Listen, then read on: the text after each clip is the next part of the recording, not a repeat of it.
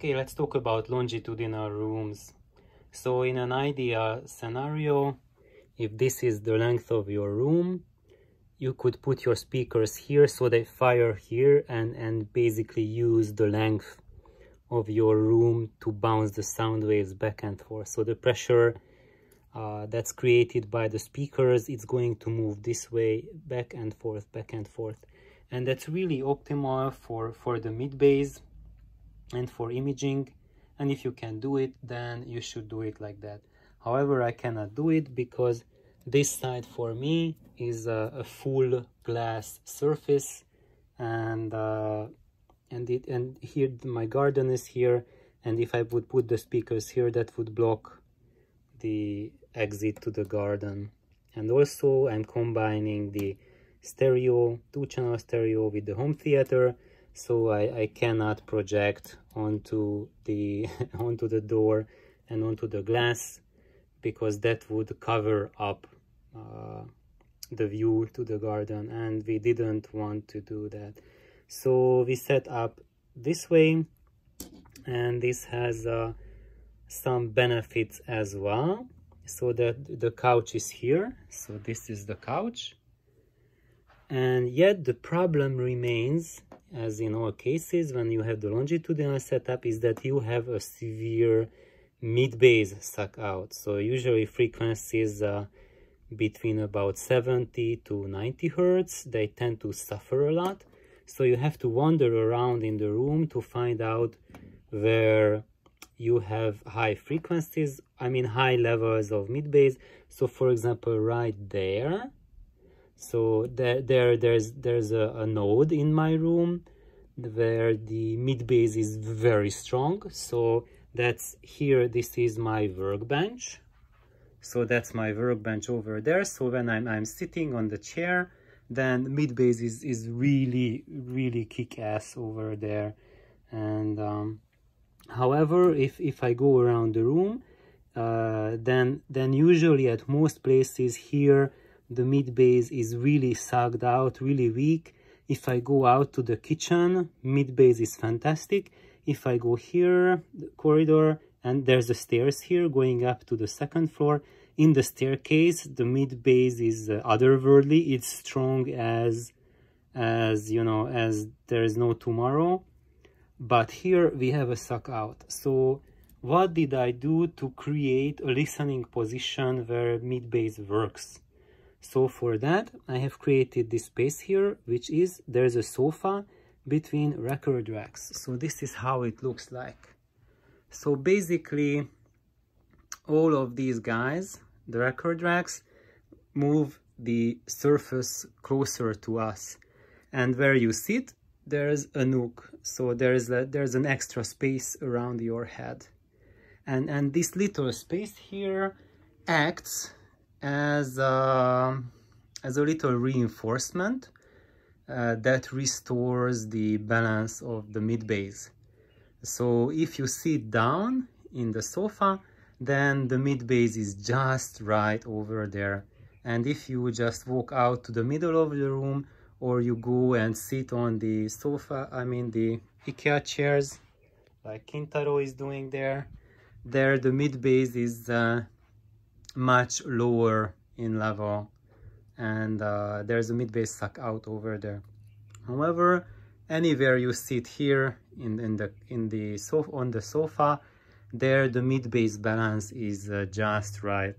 However i have to add an in interesting uh, concern that people usually don't uh, talk about or don't notice that here you see i have a coffee table in front of the sofa. And uh, if you can get away with it so there's nothing here uh, so this space that's between here are the speakers and here's the sofa. If you can make it so that there's nothing on the floor in this area that's absolutely vital for mid bass.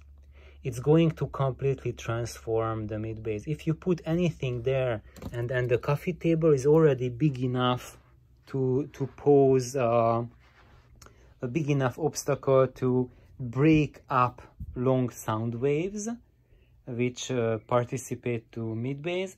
It's already uh, sucks out a lot. And also it uh, affects not just the mid but deep bass as well. So if I get this coffee table and move it next to the window so I put it from here just move it out so it stays out there then the mid bass and deep bass and sub bass considerably uh, strengthens up becomes quite a bit more pronounced.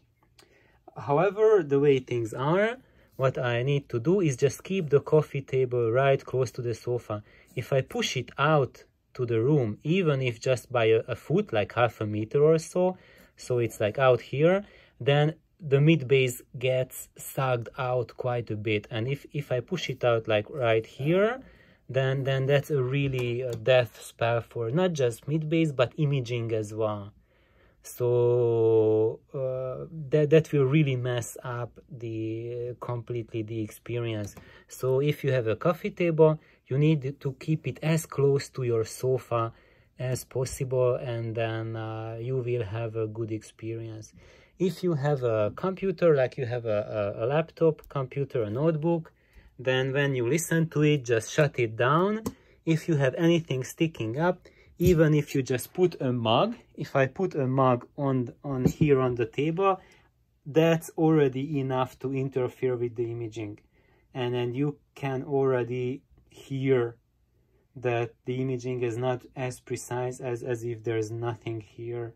But if you have a computer screen, even if you put it right, right here on the side, in front of the IKEA chair, even here, this has a tremendous effect on the stereo image.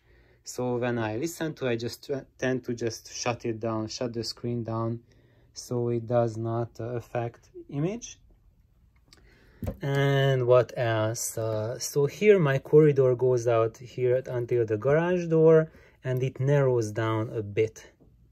However that's uh, not a big issue. The, the main issue is that this length here is uh, between 35 and 40 feet so that that's about like uh, 12 13 meters. And that means that the lowest frequency that can uh, be that is supported by my living room by my house is uh, twice that wavelength so it, it's about like 25 meter uh, wave. So that that's the full wavelength. And then you need the half wave to be supported by the room. And and that's the lowest that, that the room can support. If you want uh, sound frequencies below the half wave then uh, it's going to roll off quite a bit. So my rooms, uh, let me see, it works about down to around 15 hertz or something like that. So down to that frequency, it's really working. And I can say that um, the Altec speak, my Altec speakers, they do work down into that region and uh, I have to admit that never before I heard a stereo system uh, that is uh, done in such a way that it can do uh, frequencies below 20 hertz. And uh, and it's truly something otherworldly. There it's really hard to describe that experience. But for that, you need two things, not just speakers and amps and a system that can support it, but you also need a room size. And don't worry if you have a weird floor, floor plan like mine, that you have a living room and then a kitchen and then you have a, a corridor. The corridor itself is also part of the sound wave. So here when the sound waves form, uh, the pressure wave can bounce between here and then open up here. So here, dong, dong, dong, dong. So, so one side of the pressure wave on this side is pretty much fixed. But this side here, the pressure wave can bounce back and forth, back and forth. So it's not moving as if it was a whole wide room and it would move like this, but it just bounces like this. And partly because of that, it slaps there and that's why this spot is, is really strong with bass where, where I sit with my chair when I do my projects.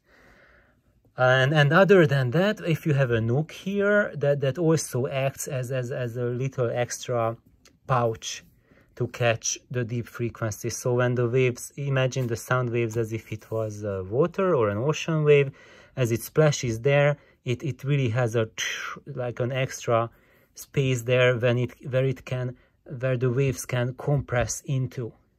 So so there's a big wave, imagine like an ocean wave crashing into the sofa and and from the sides it, it starts to bounce back but there's a little space uh, by by our head over there so so the sound waves the big waves can just uh, go in there and and just uh, create that creates an extra high pressure zone which is where the pressure is a little higher than uh, than in other areas of the room.